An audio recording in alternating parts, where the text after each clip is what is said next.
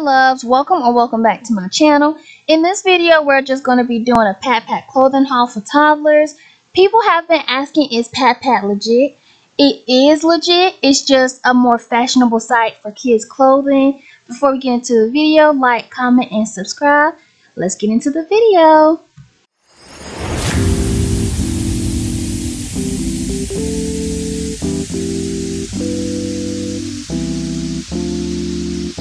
It's very cute. It is pink and black and we have the shirt and pants that match with her UGG boots. It's very cute and very warm. Outfit we have, it gives me a tie-dye thing. It's blue and pink and some white in it. She's rocking the sunflower on the front of it. And she has her little cute pink headband with her little shoes that has a little puff on it. It's super cute and super comfortable for toddlers.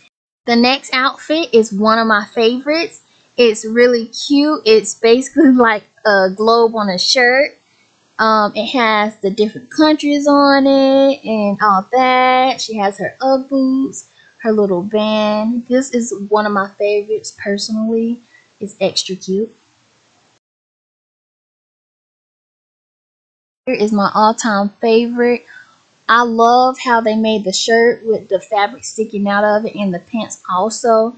I love the unicorn on it. She has her shoes with her little puffs on again. It's warm. It's just everything. For her, it's not supposed to be like that on the stomach part because it's too big. But she will have a tank top under it when she is able to wear it. And also, I know this video is a bit short, but I hope y'all still enjoy. Thank you.